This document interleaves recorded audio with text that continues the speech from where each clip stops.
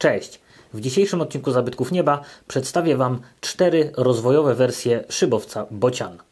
Pierwsza z nich to zbudowany w 1956 roku egzemplarz wyczynowy oznaczony Bocian Z.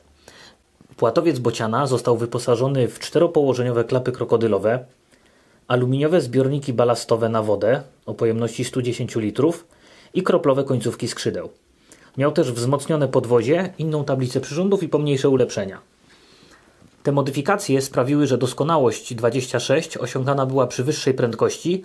Zamiast dotychczasowych 80 były to 92 km na godzinę, czyli bocian Z był w stanie dolecieć tam, gdzie tradycyjny bocian, ale mógł to zrobić szybciej, co ma znaczenie na zawodach. I właśnie na zawody Bocian Z został zbudowany. To były szybowcowe Mistrzostwa Świata we Francji, e, w Saint-Yann. Tamten szybowiec zajął szóste miejsce, mimo tego, że został podczas zawodów rozbity. I po tych mistrzostwach zrezygnowano e, z organizacji zawodów w klasie szybowców dwumiejscowych, w związku z czym e, produkcji seryjnej nie podjęto. Zbudowano dwa egzemplarze Bociana Z.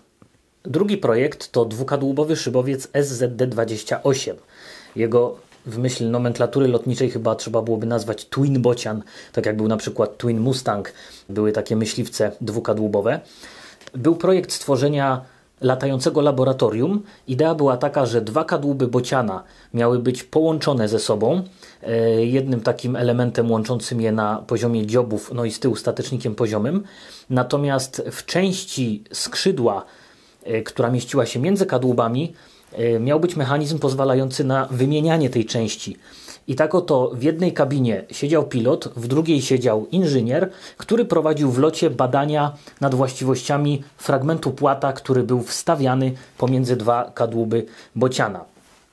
To było latające laboratorium, które finalnie nie zostało zbudowane, ale bardzo ciekawy projekt powstał. Miał się właśnie nazywać SZD-28.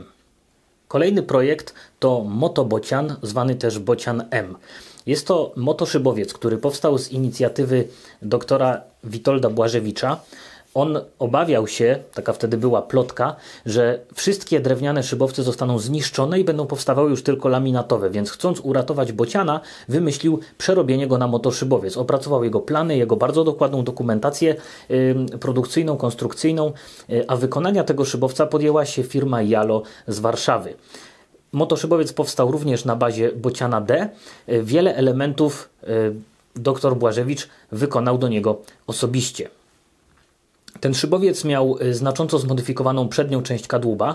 Tam była dwumiejscowa kabina e, w układzie z siedzeniami obok siebie. Był jeden drążek sterowy, który znajdował się pomiędzy siedzeniami i była taka płaska, podłużna tablica przyrządów inspirowana konstrukcjami przedwojennymi samolotami RWD. Podwozie było typu samolotowego, a motoszybowiec Motobocian ważył 479 kg.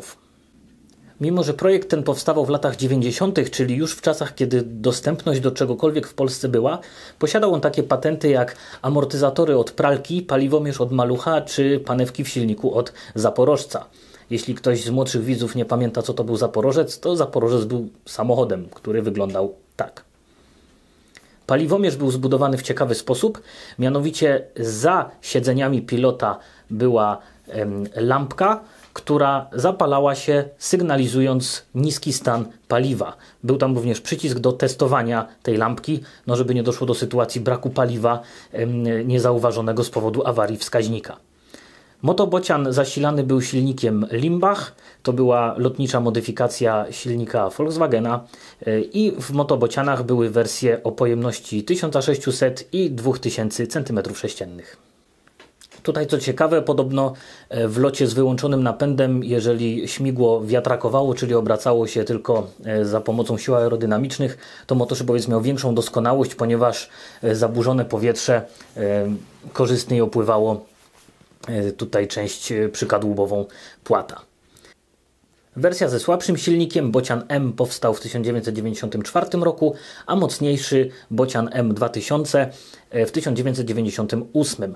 Zamówione były również dwa kolejne egzemplarze, ale niestety jedno zamówienie nie zostało zrealizowane, ponieważ e, przyszły właściciel w trakcie rozmów nad budową szybowca zginął w wypadku samochodowym, e, a czwarty motobocian nie powstał, dlatego że okazało się jednak nieprawdą planowane zniszczenie szybowców drewnianych i właściciel bociana, który miał miał być przerobiony, postanowił zostawić go sobie w wersji fabrycznego, klasycznego szybowca. Bocian M z silnikiem 1600 został oblatany w 1994 roku. Niestety również w tym roku zmarł e, jego pomysłodawca i konstruktor e, dr Witold Błażewicz i z motobociana zrzucone zostały kwiaty podczas jego pogrzebu na cmentarzu brudnowskim w Warszawie. Około 10 lat później motobociany uległy rozbiciu. Ten nowszy wpadł w korkociąg po starcie, uderzył w zalesiony teren, został rozbity, zginęły w tym wypadku dwie osoby. Natomiast starszy e, w 2005 roku również po starcie zahaczył skrzydłem o ziemię, e, uległ zniszczeniu, ale dwie osoby znajdujące się na pokładzie e, nie doznały obrażeń. Wedle dokumentacji ten szybowiec, ten motoszybowiec w chwili wypadku był również wyposażony w mocniejszą wersję silnika o pojemności 2 litrów. Ostatni i moim zdaniem absolutnie najbardziej imponujący motoszybowiec na bazie Bociana to zbudowany w 1955 roku Bocian Puls. Jest to projekt e, Justyna Zandauera, jednego z konstruktorów Bociana i Andrzeja Moldenhavera, który z kolei był e, specjalistą od nietypowych konstrukcji e, samochodów wyścigowych, motorówek, e, poduszkowców. I oni postanowili wyposażyć Bociana w napęd silnikami pulsacyjnymi, stąd nazwa Puls. Silnik pulsacyjny to jest w ogóle niesamowita ciekawostka inżynieryjna. To jest tak naprawdę chyba jedyny silnik, który działa mimo tego, że nie posiada żadnych części ruchomych. To jest generalnie tuba odpowiednio ukształtowana metalowa, w której znajduje się jedna iskra, y, jedna świeca zapłonowa. Doprowadzane do tego jest paliwo i powietrze pod ciśnieniem i następuje zapłon dzięki świecy. Później y, powstają takie bardzo szybkie cykle, ich jest nawet 50 na sekundę, polegające na tym, że powstaje impuls popychający silnik do przodu, zmienia się układ ciśnień e, wewnątrz silnika, zasysana jest nowa porcja mieszanki, powoduje kolejny impuls, no i ta zmiana ciśnień e, tworzy serię właśnie takiej, taką impulsację pchającą silnik do przodu. Podczas pracy taki silnik rozgrzewa się do bardzo wysokich temperatur, rozgrzewa się on generalnie do czerwoności, e, generuje nieprawdopodobny hałas, Ponadto jest ryzyko związane z jego pracą, ryzyko implozji, ryzyko eksplozji i generuje, potrafi wygenerować w osi podłużnej bardzo duże wibracje. Co więcej, mówimy o projekcie, który powstawał 10 e, lat po zakończeniu II wojny światowej, e, a silniki takie kojarzyły się z niemiecką bronią. Chyba najsłynniejszym na świecie statkiem powietrznym zasilanym silnikiem pulsacyjnym jest niemiecka bomba latająca V1. Ona miała dźwięk, który obok syreny Sztukasa był symbolem terroru, bardzo nieprzyjemny, bardzo głośny.